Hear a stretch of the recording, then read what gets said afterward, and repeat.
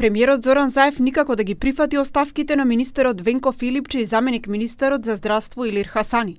Прво Заев изјави дека ќе чека да излезат финалните резултати од вештачењето, а првиот извештај на обвинителството не го убедил дека Филипче и Хасани се виновни. И апсолутно тука никој ништо ниту амнестирал, ниту имал намера да амнестира.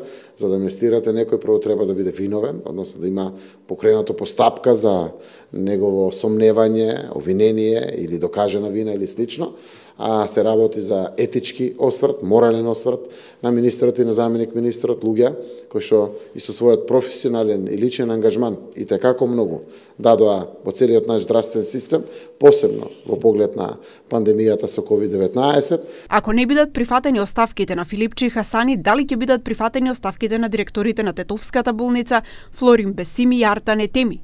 Заев рече дека тие доставиле неотповикливи оставки и на нивно место ќе бидат назначени други лица по локалните избори. Забранува да во време на избори се именуваат личности. Јас очекувам во ноември месец по завршувањето на изборите, вториот круг завршува на 31 октомври, да бидат поставени новите раководни лица. Од друга страна, опозицијските партии натаму настојуваат Филипчи и Хасани да бидат тргнати од функција. ВМРО ДПМН вчера доставила барање до собранието за да се повика итна седница каде единствена точка на дневен ред ќе бидат барањата за разрешување на министерот за здравство Венко Филипче и неговиот заменик Никилир Хасани. Лидерот на албанската опозиција Зијадин Села рече дека за премиерот поважен е Филипче отколку да ги утеши 14 семејства на жртвите кои изгореа живи.